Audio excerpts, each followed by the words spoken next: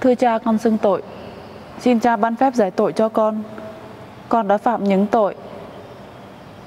Con Con cứ thoải mái chia sẻ đi. Con ghét con Lan gần nhà con đấy cha. Sao vậy?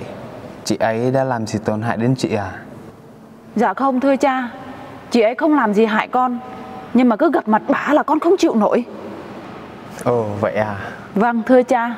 Nó không bằng tuổi con thôi. Nhà trước đây cũng nghèo lắm. Chồng thì làm văn phòng quèn thôi.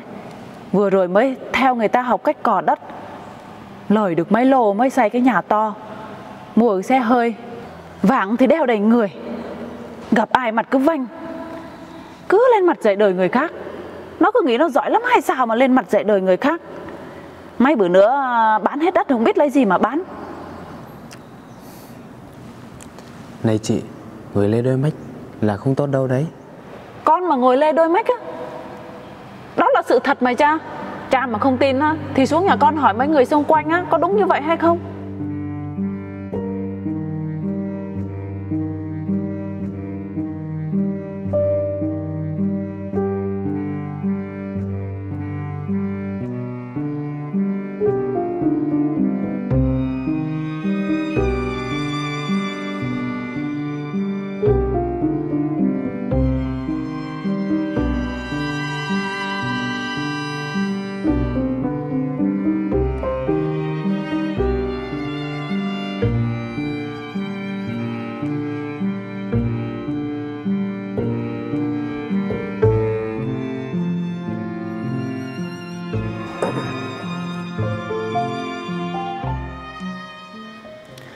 Xin Thiên Chúa người trị trong tâm hồn ông để ông xưng thú tội lỗi với lòng thông hối chân thành nhất. Ông có thể bắt đầu xưng tội.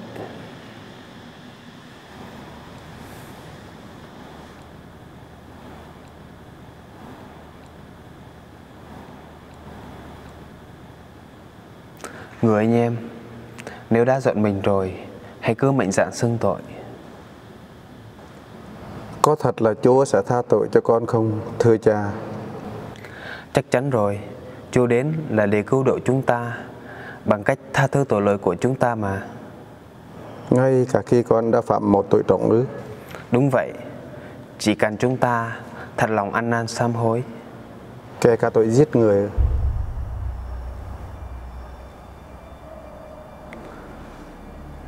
Ông nói gì?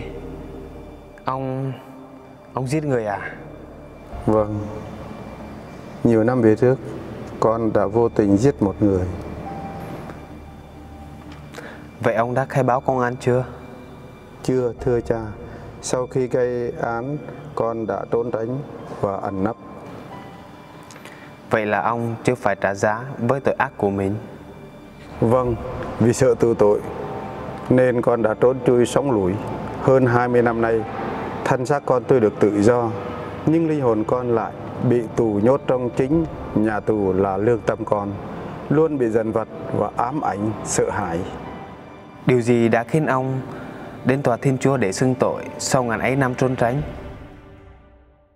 Con bị ung thư dạ dày giai đoạn cuối, thưa cha.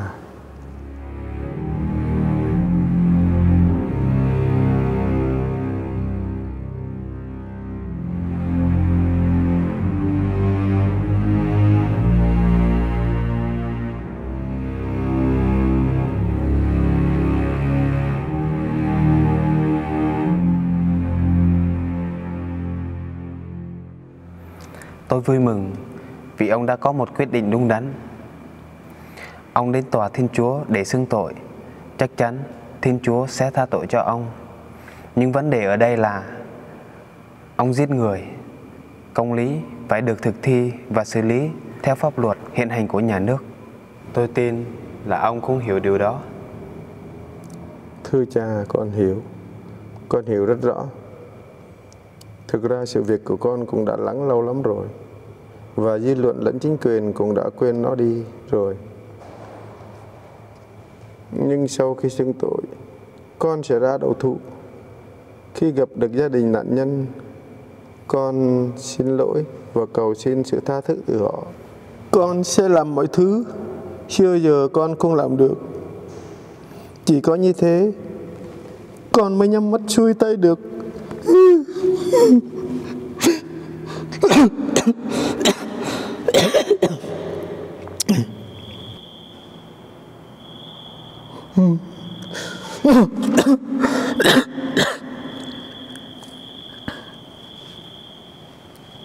Ông có thể kể chi tiết về vụ việc được không?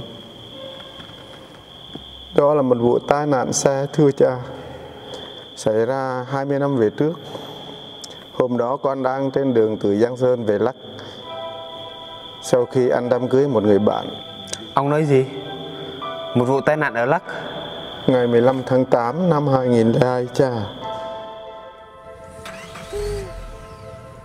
Ơi dậy đi bố ơi dậy đi bố ơi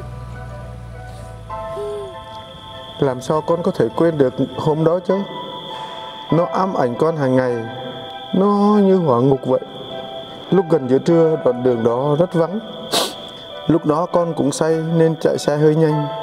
Bất ngờ qua một khúc cua Bắt gặp hai cha con đang đi bộ. Vì con đường rất hẹp Nên con đã không xử lý được Và đâm người đàn ông đó.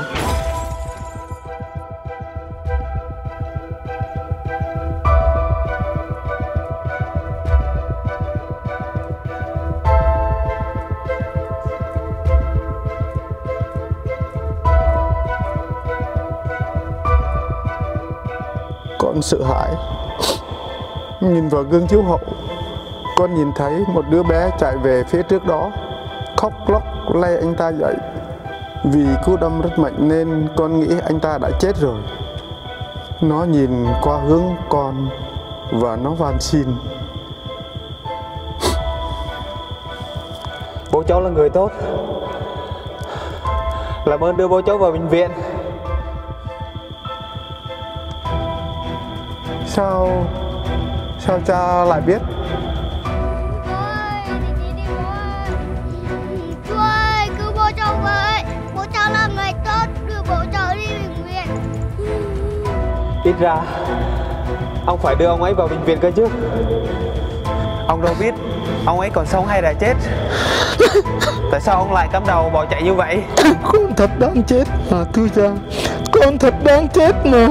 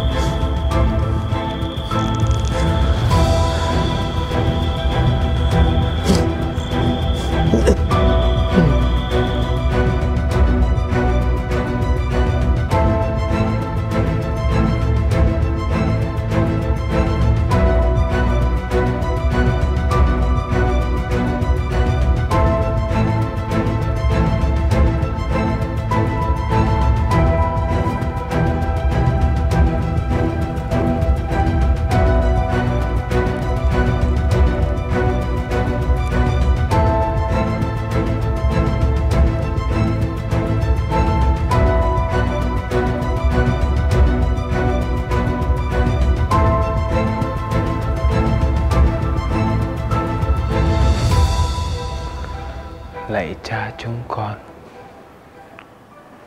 Ở trên trời. Chúng con nguyện danh cha cả sáng. Nước cha trị đến.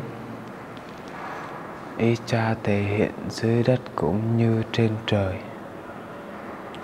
Xin cha cho chúng con hôm nay lương thực hàng ngày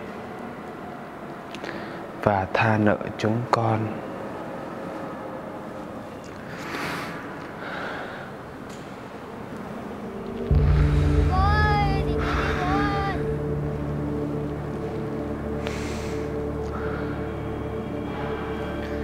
Và tha nợ chúng con.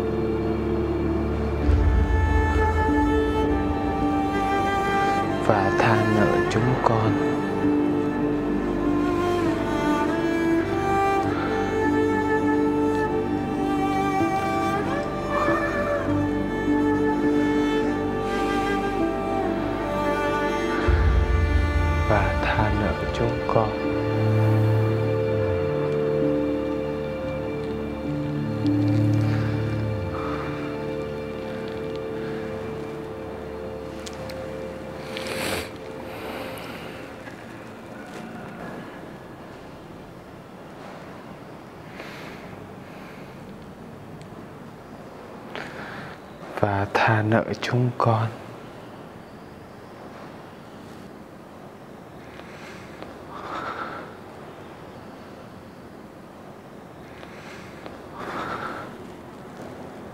Như chúng con cũng tha cho kẻ có nợ chúng con.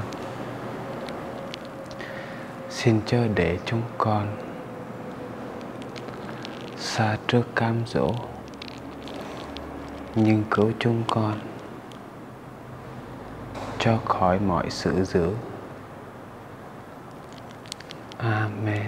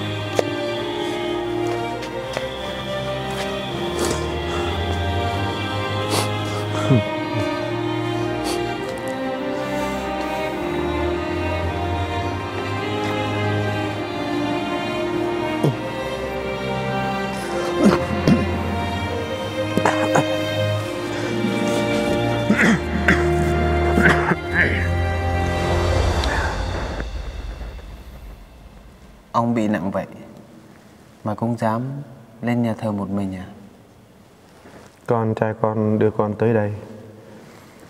Nó bận việc nên chút nữa nó quay lại đón con. ông đừng khóc nữa tôi thật lòng tha thứ cho ông Không. Không. Con là kẻ đã hại chết bố của cha. Con không đáng được cha tha thứ. ông đừng buồn nữa thực ra bố của tôi không mất trong vụ tai nạn đó Cái gì cơ? Cha nói gì? Ông bị rất nặng nhưng mà được người dân xung quanh kịp thời đưa đến bệnh viện và sau đó ông hồi phục và khỏe mạnh. Ông không bị mất trong vụ tai nạn đó. Ôi. Cảm tạ Chúa, đội ơn cha. Con đã sống như một tên sát nhân trong hơn 20 năm cuộc đời. Từ giờ con đã có thể ra đi trong bình an rồi. Từ giờ, ông không cần phải dần vặt bản thân mình nữa. Vì ông đã xưng tội và Chúa cũng tha tội cho ông. Giờ là lúc ông cần tha thứ cho chính bản thân mình. Hãy sống thật khỏe mạnh, hạnh phúc và có ích. Bây giờ con muốn đến thăm ông cố để bồi thường tất cả những thiệt hại có được không cha? Bố tôi đã mất cách đây 3 năm rồi. Lần tới, khi đến thăm mộ ông, tôi sẽ giúp chuyển lời hỏi thăm từ chú. Còn chuyện bồi thường thì chú hãy dùng số tiền đó để làm từ thiện. Đấy là việc đền tội mà tôi ra cho chú. Tôi tha tội cho ông. Nhân danh cha và con và thánh thần. Amen.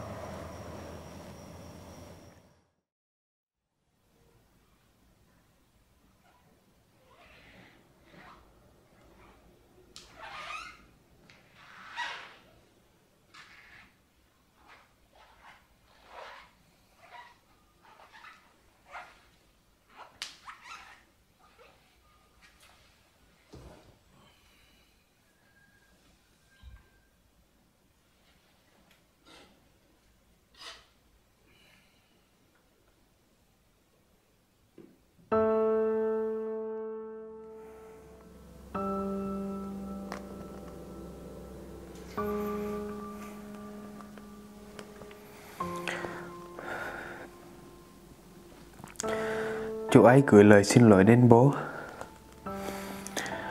Con xin lỗi vì đã nói dối chú ấy. Linh mục mà lại nói dối thì phải phạt nặng hơn đúng không bố? Nhưng con chỉ muốn giúp một linh hồn khốn khổ được ra đi trong thanh thản.